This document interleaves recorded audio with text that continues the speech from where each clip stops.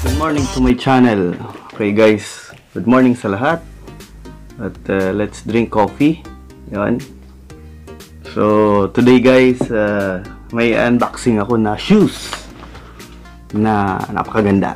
So usually hindi siya original but uh, very near talaga sa original. Kung ano ang items na yon sa original kung i-compare mo parehas ng halos. Ang paang kuan niya material, fabric niya parehas lang.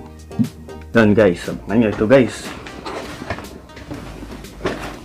Yan.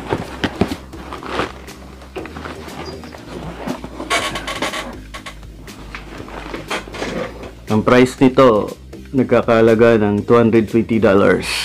Yan. Yan ito guys, no? Una, bago ko ito buksan, i-compare lang natin yung sa original at tinatawag na UA.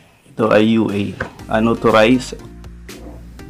And yun guys, no, yung pagkakaiba sa original at sa UA, unauthorized authentic, no. So, siyempre, yung original medyo mataas yung cost, yung price.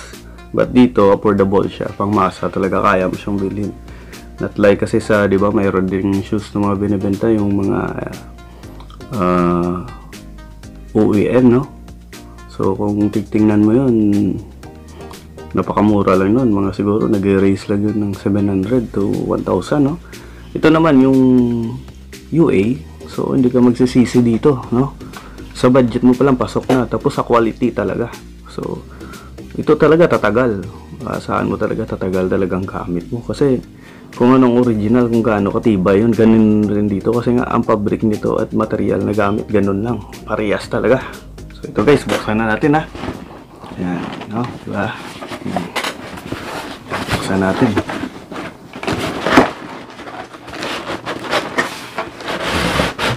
Ayan.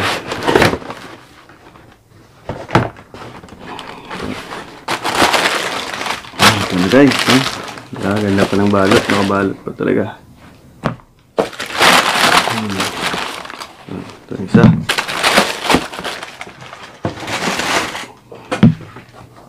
Yun.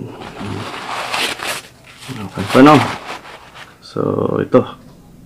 So, isahin natin guys, no? Papil-papil pa, no?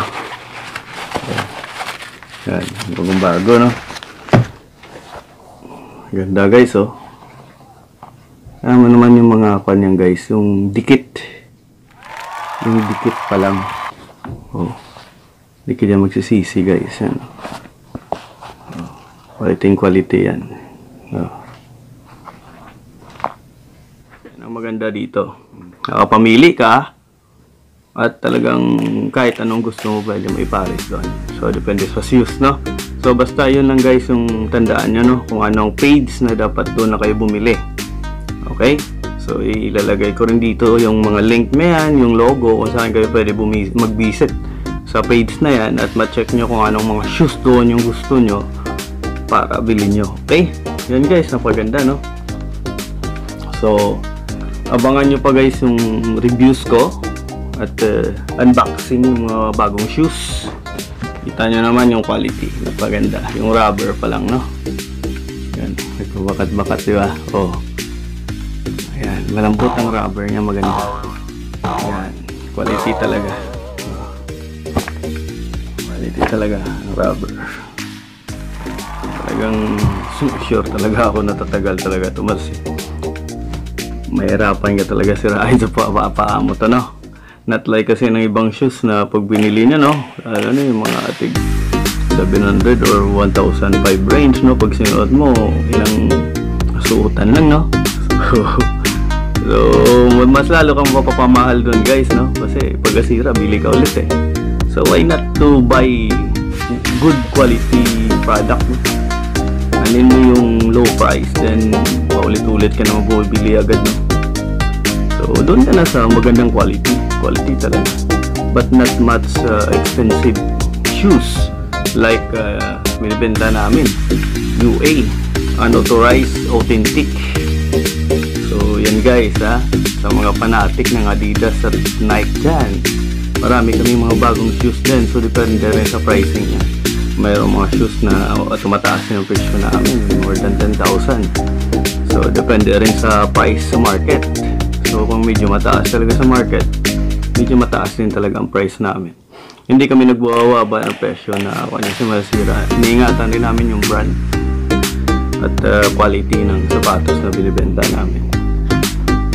Okay guys, abangan yung sunod ko na video. At uh, sure, mag enjoy kayo. Marami pa tayong i-review sa i-unbox ng mga shoes. Nike, Adidas, Puma.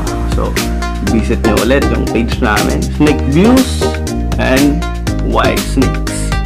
Okay guys,